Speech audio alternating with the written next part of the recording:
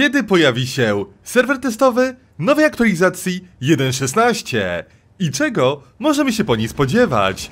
O tym porozmawiamy w dzisiejszym materiale. Moi drodzy, witam was serdecznie, jestem Multi. Tym razem pogadamy o tym, co czeka nas w najbliższych tygodniach w World of Tanks i do tego mam dla was bitwę genialnego gracza na obiekcie 907, czyli prawdopodobnie jednej z nagród w przyszłej kampanii na mapie globalnej. Przypominam, powinna ona pojawić się w lutym tego roku. Jak to miło jest powiedzieć, że już coś będzie w nowym roku. Jak jest koniec roku, to trochę smutno, a jak nowy rok, no to jednak tak jakoś milej, cieplej. No dobra. Potyczka jest na mapie Ruinberg. Zobaczycie tutaj grę bardzo odważną, bardzo agresywną, a ja już teraz chcę przypomnieć, że mam dla Was po pierwsze wygranego ostatniego giveawaya na trzy paczki magiczne. Serdeczne gratulacje dla szczęśliwca, który już teraz może otworzyć paczuchy i może dostać nawet czołg ósmego poziomu z paczek. Zobaczymy. Daj znać widzu, który wygrałeś.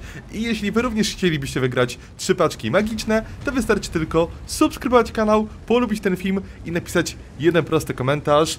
Jak, moi drodzy, oceniacie grę World of Tanks w skali od 1 do 5?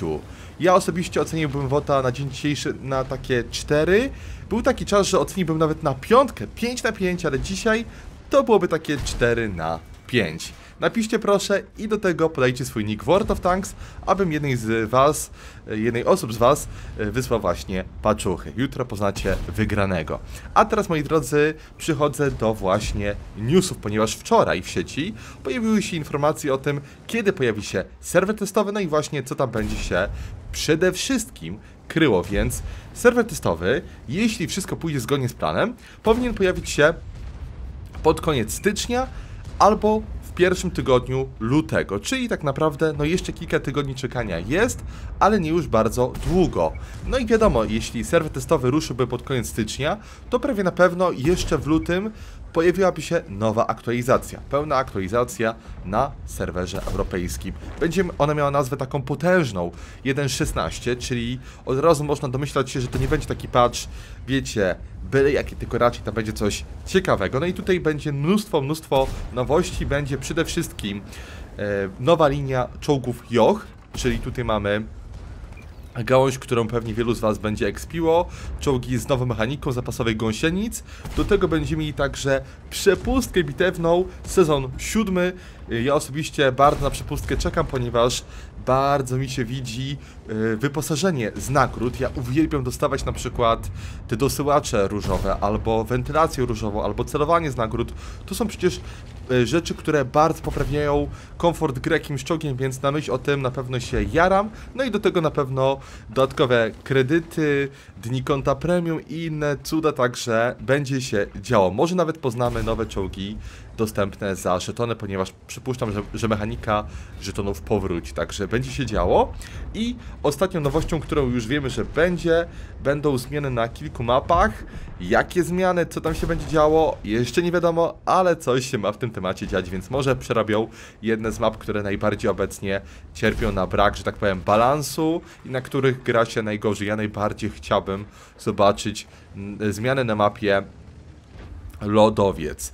Ale możliwe też, że to, to, będą, moi drodzy, jakieś dodatkowe e, tryby na mapach. E, był ostatnio taki screen, który pokazywał różne mapy w trybie szturmu. Także no może też to być jedną z nowości, zobaczymy. Na pewno coś z tymi mapami się będzie działo. Także ja już teraz nie mogę się doczekać, bardzo liczę na to, że ta aktualizacja przyniesie coś dobrego z początkiem roku dla World of Tanks. Napiszcie jakie jest wasze nastawienie, a teraz skupmy się już na oglądaniu bitwy, która naprawdę mnie zaskoczyła, ponieważ bohater tutaj, który ma 3 biegłości na 907, 3 biegłości na 907 to nie jest byle co, nie każdy jest w stanie je wbić, trzeba być naprawdę mega zdolnym. E, bohater tutaj gra bardzo odważnie. Zobaczcie, że zajął pozycję, gdzie zwykle nie widuje się czołgu ciężkiego, a co dopiero średniego. Wziął zestaw taki, od razu powiem, niestandardowy, ponieważ z turbosprężarką na medzie na mapie miejskiej. Gdybyśmy powiedzieli sobie, że o 907 na urwisku, 907 na majnówce, no to turbo zapala się w głowie jako rzecz konieczna, ale na mapie miejskiej turbo to wcale nie jest bez sensu, a to dlatego, że bohater chciał zająć właśnie tutaj agresywną pozycję, jeżeli oddalimy sobie kamerę, to zrozumiemy, że zajechanie w to miejsce wymaga od gracza bardzo dobrej prędkości. Jeżeli mamy pojazd wolny, to zwykle tutaj nie dojedziemy, dlatego bohater wziął turbo, aby zająć kluczową pozycję i przy tym nie zginąć, choć powiem wam od razu, dojechanie tutaj nie było łatwe i mogło się skończyć do bohatera gorzej niż się skończyło w tej bitwie. Teraz mnóstwo szczęścia, E4 z Golda trafia nas tylko w działo. Ja tylko przypomnę, że TS-110-4 ma na pocisku APCR penetrację średnią 375 i ten pocisk uszkodzi nam tylko działo. Chore?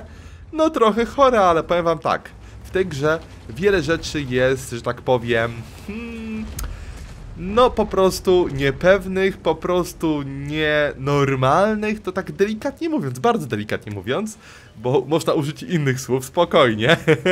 Także no na pewno sytuacja która miała prawo y, wnerwić tego gracza w E4, no ale tak to właśnie się czasami kończy.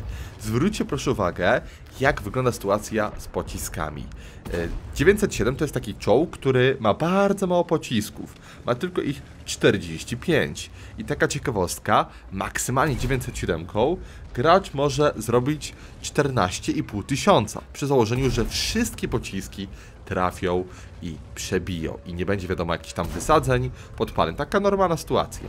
14,5 tysiąca to nie jest wcale tak dużo. Ostatnio pokazywałem wam bitwy VZ, gdzie gracze robili po prawie 15 koła, więc no 14,5 przy 100% skuteczności to i tak jest no raczej mało realne. Dlatego od razu mówię, że ten czołg naprawdę amunicji nie ma dużo i ciężko im zrobić jakiś totalny taki wystrzałowy wynik.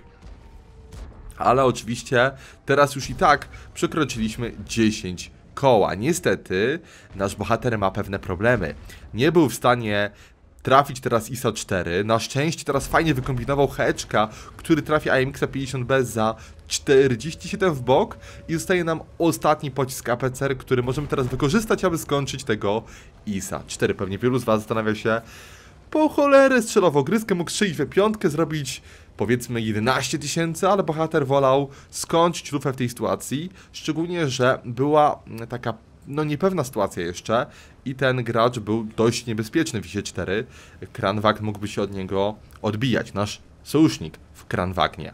Nasi sojusznicy ogarnęli je piątkę bardzo ładnie, no i została już tylko artyleria, więc można powiedzieć, że bitwa jest prawie że na pewno wygrana. Ale my jesteśmy najbliżej tej arty. My jednak, choć jesteśmy blisko, nie możemy być pewni, że tak naprawdę tę artylerię upolujemy, ponieważ w tym momencie my po prostu nie mamy już pocisków. Nie mam broni, może bohater powiedzieć. Taranujemy tę artę za 229. Ona nam zabrała 317 życia. Teraz próbujemy uciec od niej, nie dać jej strzelić w nas centralnie i chcemy to co osiągnąć to staranować się znowu na wysokiej prędkości. Zobaczcie, że ten Conqueror trafia nas teraz, ale tylko za 160 to jest chory jak mało nam damage zadał. My go taranujemy po raz kolejny. Znów ten gracz warcie zyskuje, ponieważ taranuje nas za więcej e, niż my mu robimy.